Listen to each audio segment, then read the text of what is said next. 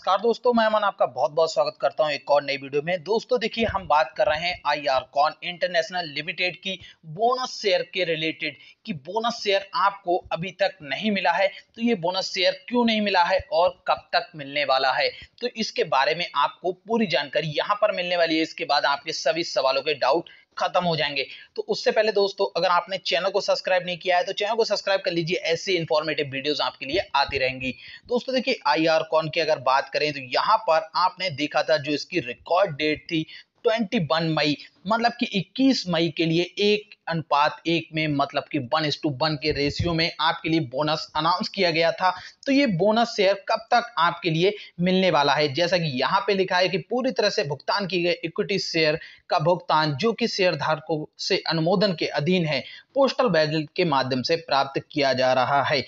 तो अब दोस्तों, बात हम ये कर रहे हैं कि डेट निकल गई, लेकिन अभी तक आपको बोनस नहीं मिला है। तो पहली चीज़ दोस्तों, आप ये समझ लीजिए 22 मई और 23 मई को था हॉलीडे क्योंकि सैटरडे और संडे के लिए बंद रहता है एक्सचेंज कोई काम नहीं होता है, और बोनस शेयर क्लियरेंस में काफ़ी वक्त लगता है, क्योंकि पूरा डिपॉजिटरी में ये सारे शेयर पहुँचने में, फिर सभी शेयर धारकों के अकाउंट में जाने में उसमें वक्त लगता है। तो अभी अगर आपको ये चिंता हो रही है कि कहीं ऐसा तो नहीं किसी और को बोनस मिल गया और मुझे नहीं मिला है तो ऐसा बिल्कुल भी नहीं है। आपके पास आपके ब्रोकर के द्वारा भी एसएमएस आ जाएगा।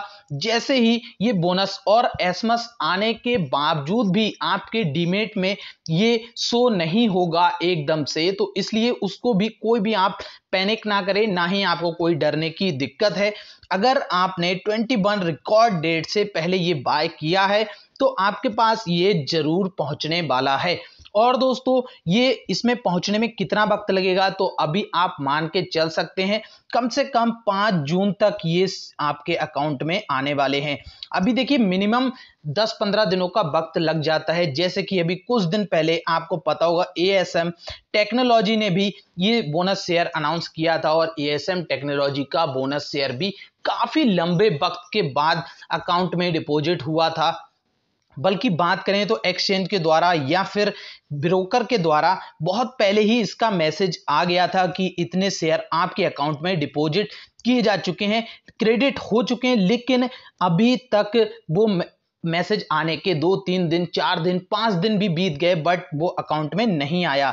तो इसी तरह से आपको ये चीज़ समझनी चाहिए कि इसमें जो है वक्त लगता है थोड़ा सा तो इस वक्त का आप आराम से इंतज़ार करिए, कोई डरने की दिक्कत नहीं है, आपको बोनस शेयर ज़रूर मिलेंगे। और एक सवाल और भी मन में है आपके, देखिए अगर आपने रिकॉर्ड डेट से पहले इसको बेच दिया है, तब वहाँ पे कुछ चांसेस इस तरह के बनते हुए नज़र आएँगे। जैसे कि अगर आपने 21 में को ही ये शेयर सेल किया है तो ये आपके लिए मिल जाएगा, क्योंकि उसी दिन प्राइस उसी रेशियो में बढ़ गया था। तो ये आपके पास भी बोनस पहुँच जाएगा दोस्तों। तो अगर आपको वीडियो समझ में आई, अच्छी लगी, पसंद आया तो लाइक ज़रूर बटन दबाइएगा दोस्तों।